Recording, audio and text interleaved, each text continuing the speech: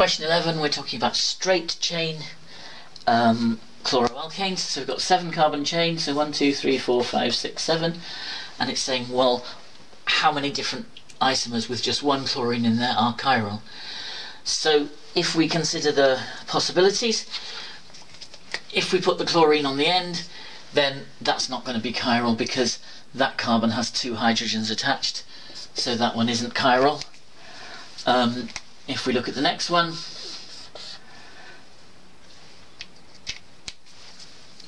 which has the chlorine here, then you can see that one is chiral. There's a chiral centre here because that carbon has four different things around it.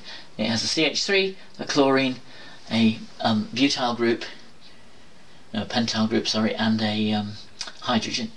So four different groups, and therefore that one does have a chiral centre.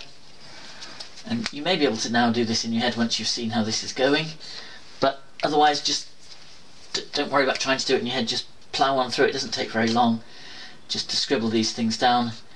Again you can see that one is chiral because you've got chlorine, ethyl, butyl and hydrogen, four different groups around it.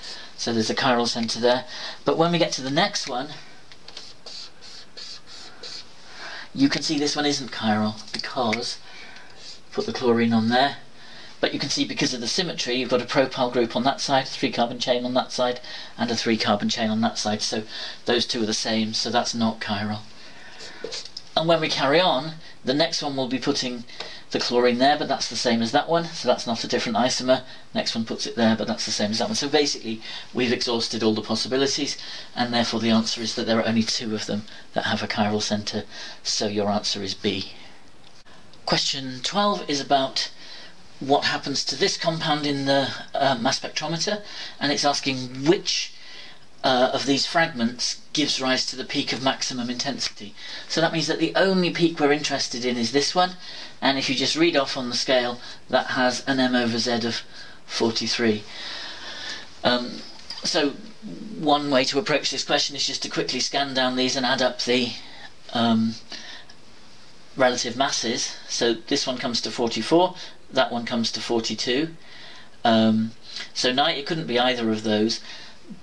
The other way you could quickly eliminate both of those, though, is that you couldn't get them from that molecule. And if you're adding up is sometimes a bit dodgy, that may be the more efficient way to do it. Because you can see that in order to get that fragment, CHCH2OH+, that's the CH2, that would be the CH, but you'd have to break that bond and that one. So you'd have to break two bonds, and we know that's not a likely process, so it's not going to give the most intense fragment. So you could rule that one out anyway, but it has the wrong mass, so so it's definitely not that one. Um,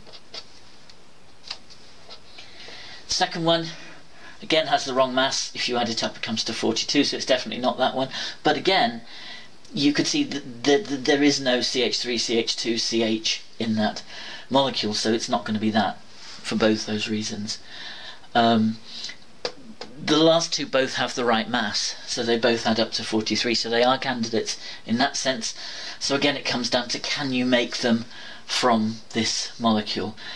Uh, and you can see the bottom one you clearly can't, because that contains a carbonyl group, and there is no carbonyl group here, so it can't be that either of those or this one, so it's got to be this one, but we can just double check that that fits, and of course we've got the two CH3s and the CH there, so if we break that bond, we could get that fragment which would give you the 43 so C is therefore the answer. Question 13 wants to know which of these are valid lines of evidence um, supporting the delocalized model for the for the bonding in, in benzene. So this is a story you're meant to know. The evidence for the delocalized pi system in benzene is something you're very likely to get asked about. Um, so that's one of the key bits of evidence. The carbon-carbon bond lengths are all the same, and of course that's not what you would expect if you had this structure. That's what you're trying to discount and say, yeah, it's not that, it's this. And of course, if it was this, you'd expect the double bonds to be uh, shorter than the single ones. So that, yeah, is definitely a good bit of evidence that says this is a better model. Delta H of hydrogenation. So remember, the idea here is that if you react cyclohexene with hydrogen. There's cyclohexene and if you react with hydrogen it turns into cyclohexane and there's delta H for that. Now if this model was right it would really just be the equivalent of doing that same reaction three times so you would expect delta H to be that sort of amount. Okay, so that's, if we call that delta H1, this would be 3 times delta H1. And that's what you would be expecting if it were three localized bonds. What you actually find is that it's only about twice as big. So it's a much less negative number than you expect. And that's because the delocalization lowers the energy of the pi electron, so it takes the energy down, and it means that when you add hydrogen, uh, it's not as favourable as you would expect. So yes, that's a key bit of evidence as well. And bromine reacts less readily um, with benzene than with cyclohexene. That of course is true because remember you need a halogen carrier catalyst like aluminium bromide to get it to react with benzene but it just reacts with bromine water without any catalyst with that. So that's definitely the case. And the way we interpreted that was by saying that the delocalization reduces the density of pi electrons compared to what you would have in a localized bond. So again, it supports the delocalized model. So all three of those things are indeed uh, important lines of evidence, and therefore the uh, correct answer is A, that they're all uh, important.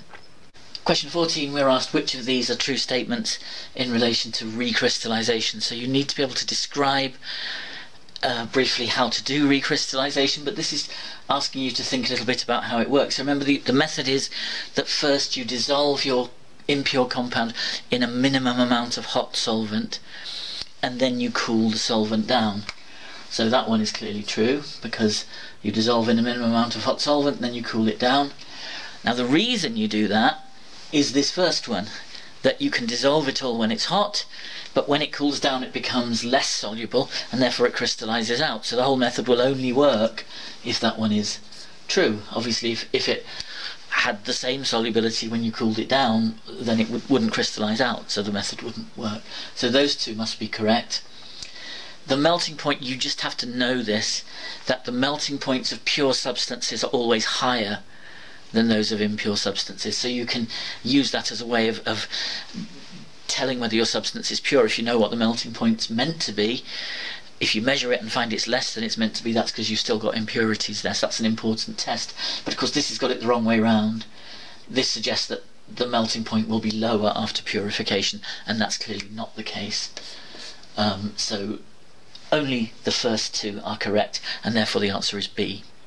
Question 15 is asking us about this compound and it gives us um, three things that could react with this and saying, well, which of them would react with it specifically to form a carbon-carbon bond. So not just which would react with it, but when they react, do they form a carbon-carbon bond. So the first one is uh, chloromethane and aluminium chloride. As soon as you see that combination of uh, a, a haloalkane or a um, or an acyl chloride. With aluminium chloride you think Friedel-Crafts so yes it can react with the ring and when it does that it forms a carbon-carbon bond. So for example you might make that compound. Sorry you should write it like this shouldn't you? So that the carbon's attached to the ring. So you could make that compound uh, replacing the chlorine of the uh, CH3Cl with the benzene ring. So for the CH3Cl one with aluminium chloride the answer is yes it can form a carbon-carbon bond. Uh, the second one it answers, asks us about is KCN in ethanol where you should know that that's the recipe for using uh, cyanide as a nucleophile to displace a, a halogen. So in other words it would be this reaction, sorry with CN minus remember attacking a carbon to boot out the halogen like that and of course the consequence of that is that what you end up with is indeed a new carbon-carbon bond because the bromine is gone and you'll have CN there instead. So yes, that one can also form a carbon-carbon bond. So that was KCN and ethanol. The answer is yes. The third one is asking about methanol and sulfuric acid. That combination should make you think esterification. Acid catalyst and an alcohol could react with the carboxylic acid, so you may be tempted to go for that one. But remember that when that reacts with methanol, okay, here's methanol, then what happens is that you eliminate water from there and so you lose the OH from here and you lose the hydrogen from there. And the new bond that you form is not a carbon-carbon bond it's a carbon-oxygen bond. So although it reacts that was a slight trick because it reacts not to form a carbon-carbon bond. So CH3OH and um, sulfuric acid does react but not to form a carbon-carbon bond so no for that one. And therefore only 1 and 2 are correct so the answer is B